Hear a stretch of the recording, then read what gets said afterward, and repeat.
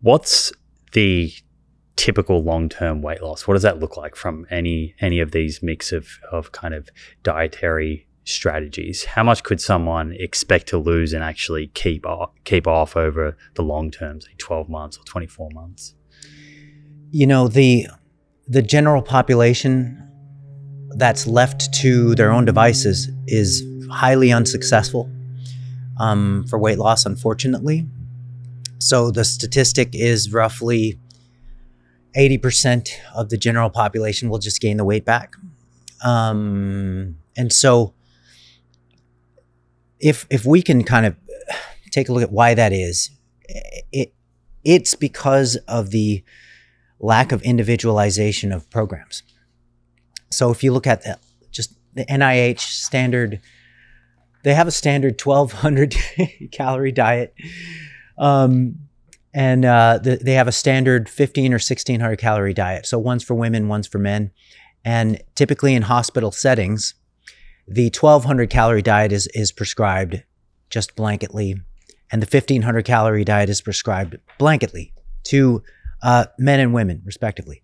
and so the big problem with that, I, I think that when you prescribe a cookie cutter diet that is anywhere from one to 2,000 calories less than what somebody is habitually taking in, mm, the success rate of those diets are going to be very low because um, diet composition and certainly things like eating enough protein to stave off a phenomenon called col- collateral fattening, which is uh, another rabbit hole.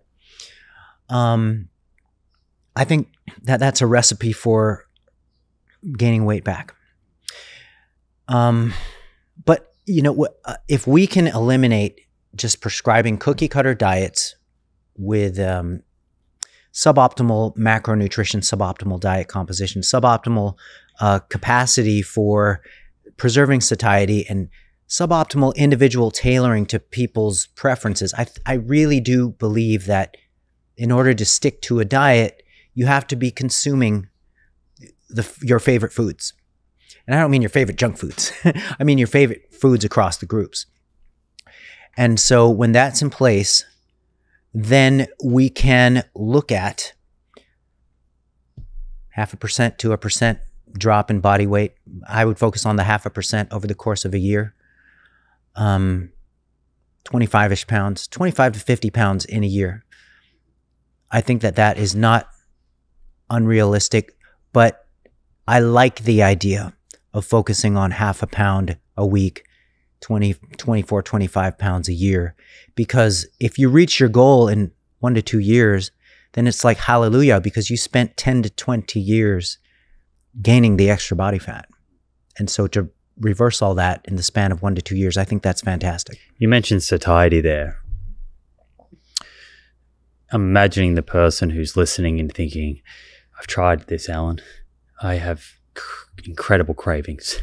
Mm-hmm. And so at the end of the day, they finish dinner, they they feel they don't feel like they're satiated. They go to the freezer and get ice cream or grab a block of chocolate and eat the, the whole thing. What do you want people to think about with regards to satiety and feeling full if they're having difficulty with that and they're finding that these cravings are kind of derailing them? Okay.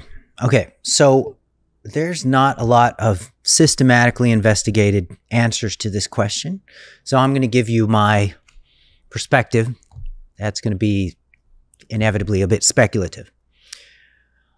I feel that, and, and I've observed in the field, that when you can structure a diet to include meals that the, the subject truly enjoys and looks forward to, then their cravings or excess undue cravings and, and appetite actually goes down because each meal is much more of a fulfilling experience.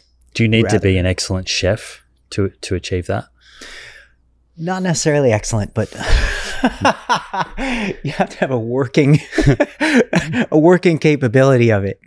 And so that's why it really does help for people to know how to you don't have to be a gourmet, but if you can prepare your own food and know how to make it enjoyable and make it stuff that you truly look forward to. If you look forward to each meal and you enjoy each meal, when you're done with it, you're going to be more satisfied, more satiated. You're you're not going to feel like, okay, I just kind of ate what felt like half a meal that I didn't really like. I'm still freaking hungry. It's time to go rummaging for other stuff.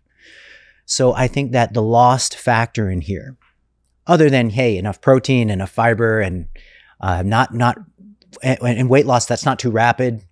So you need to find a way to have, maintain, build on the joy that you're getting from your food, even within the context of dieting. So, so Yeah, dieting is not forgo- foregoing the joy. It's not like let's you know grit our teeth and just get through this. That that's not going to be sustainable.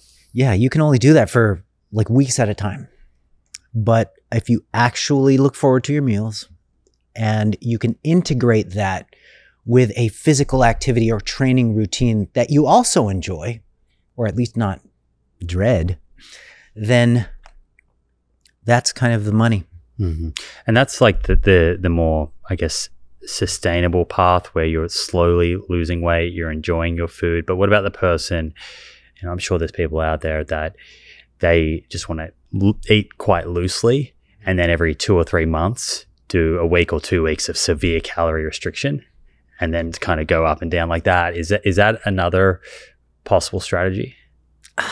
Uh, it- it's not recommended. I mean, the uh, the psychological impact of of weight cycling is probably the the overlooked negative. Um, so yo-yo dieting, yeah, definitely not recommended. Um, there is a a culture within our fitness niche that looks at uh, people's best day for the photo shoot day as being kind of the ideal, and people cultivate this false idea in their mind that they have to somehow sustain that. And I think that's that's a big part of the problem.